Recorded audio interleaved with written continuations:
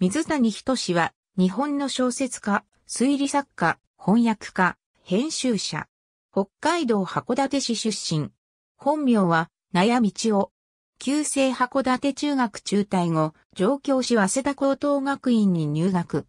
在学中の1922年に、博文館の雑誌、新青年の検証に応募した公的種が一等に入選。早稲田大学文学部フランス文学科卒業。1929年、信原県に代わって、新青年の編集長を務めた。1938年に編集長の役職を離れるが、1939年から1945年まで再び同志編集長となった。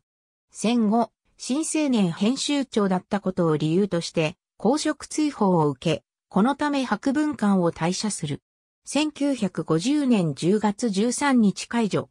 1952年に、ある決闘で、第5回探偵作家クラブ賞の短編賞を受賞。戦後は、ゴルフ関係の著作を多数執筆。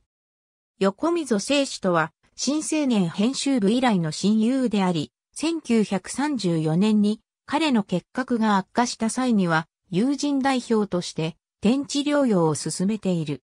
1977年毎日新聞社館の横溝のエッセイ、新設、近代地康介には、この前年来の横溝の日記が収録されているが、空前のブームで多忙な中、水谷とは頻繁な行き来が記録されている。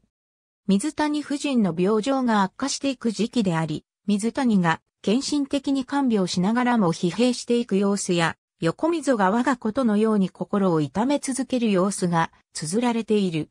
総理長官房監査下編、公職追放に関する覚書該当者名簿、日比谷政経会、1949年2月25日、429ページ。NDLJP、127万6156。追放理由は、博文館新青年主筆雑誌部長。総理府広告公職資格阻害審査結果広告第1号。官報 P35 江戸川乱歩。江戸川乱歩全集。第29巻探偵小説40年公文社。公文社文庫。2006年2月20日。381ページ。ISBN4 から334740235ありがとうございます。